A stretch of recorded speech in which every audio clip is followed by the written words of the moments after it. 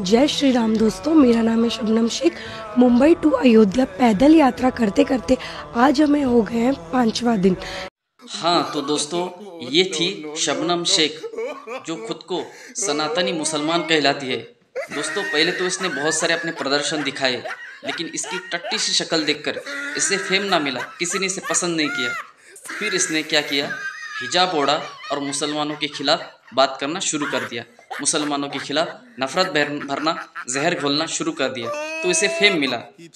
और दोस्तों, बाकी के टाइम तो ये नंगा नाच करती है, लेकिन जब भी बात किसी कहीं पर भी मुसलमान की आती है, तब ये हिजाब ओढ़ती है और मुसलमानों के खिलाफ बात करना शुरू कर देती है।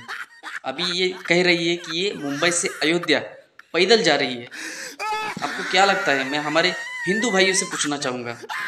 इसकी चिकनी चुपड़ी बातों में मत आना। ये भैंसा आपको क्या लग रहा है? ये चल पाएगी हज़ारों किलोमीटर।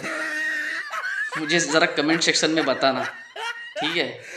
और अगर दोस्तों मेरा वीडियो ये पसंद आई आपको तो मेरे चैनल को सब्सक्राइब ज़रूर करना।